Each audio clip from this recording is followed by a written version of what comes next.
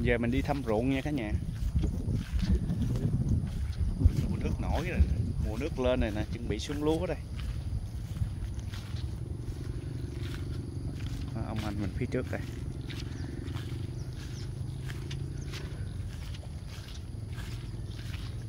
Đi làm ruộng ờ, mùa mưa.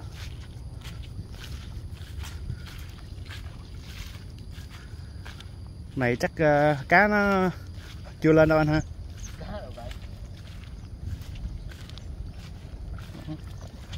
Cái bên họ gieo hết rồi nè.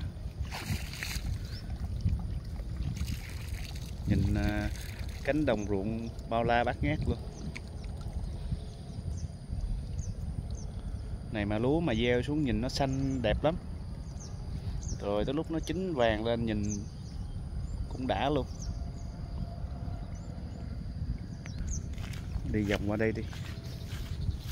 Bên đây gieo rồi nè. Đó, bên đây gieo xanh.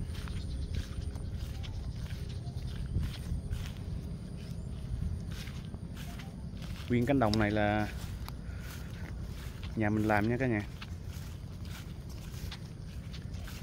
Đây chỉ có làm lúa ăn thôi.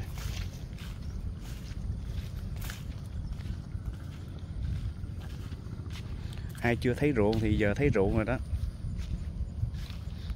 Mà cái này làm sạch rồi nó mới được về nha mọi người. Ờ, mà chưa làm thì nó cỏ không? Với lại lúa không à? Lúa mà lúa không phải lúa mình trồng mà lúa ma đó. Mọc tùm lum hết. Đây là làm làm nông cực lắm. Phải có cái hộp hộp lúa, hộp gạo à trời ơi, chảy mồ hôi luôn.